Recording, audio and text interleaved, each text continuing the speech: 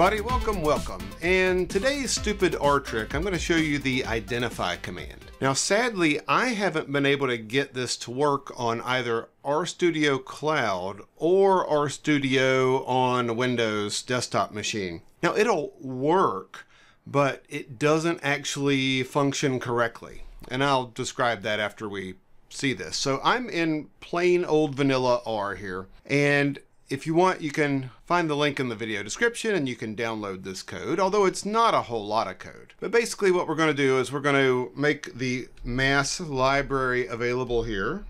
And then I'm going to make a copy of the 93 cars data in there that has data on 93 cars with things like prices and horsepower and trunk room and things like that, leg room. And then we're going to make a scatter plot. And there we go. And I'll put this scatter plot window down here and I'll stretch it out a little bit. So now the identify command. The identify command, when you have made a scatter plot already, you tell it basically the same X value and the same Y value that's in the scatter plot. And then you can tell it the tolerance. Now in the documentation, it says tolerance is within how many inches you have to find a point which doesn't make any sense. Inches is not really a dimension that R is going to know anything about. How does it know how big your screen is? I wish that this was in some sort of units like pixels. And then optionally, here you can have n equals. And this tells R how many points you want to identify. So you can set that to anything you want if you don't set this, then it will keep going until you hit the escape key, I believe. So let's run this last command.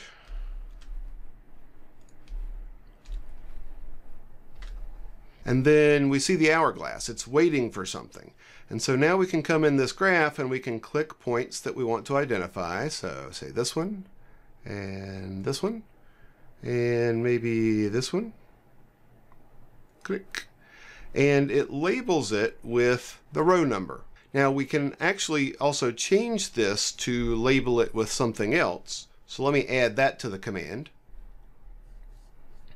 So here I added the labels command, carsdat dollar sign model.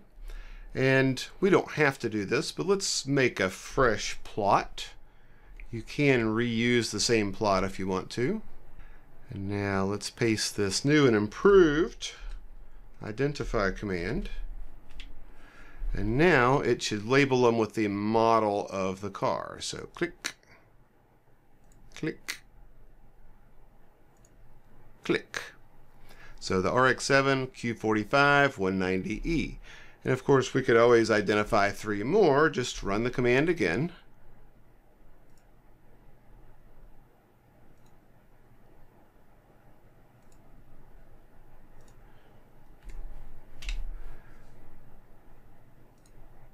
And just for fun, we'll do three more.